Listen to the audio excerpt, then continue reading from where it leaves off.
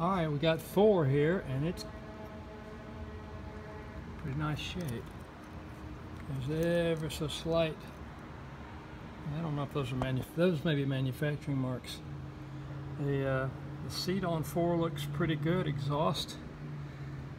I might need, need to do a little bit of touch up on four intake.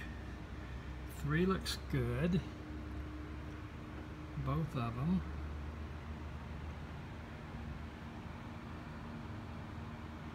Looks pretty good on two. And one looks good. The cylinder on one looks good. Now let's uh, check out two and three.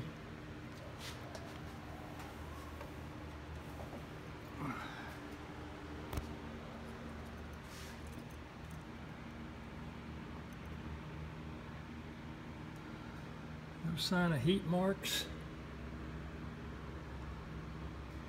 Anything. I think this is good.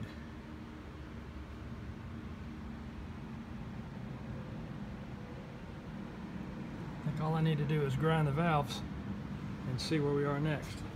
Next stop is to try to get those springs and clips out of there.